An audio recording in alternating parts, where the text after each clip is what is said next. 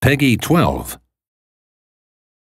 If it's blinged out, shiny, or covered in diamonds, I buy it. Living large and stacking paper.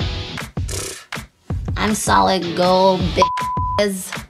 It's me just throwing cash. It's like, if it's a gold pacifier, I'll suck it.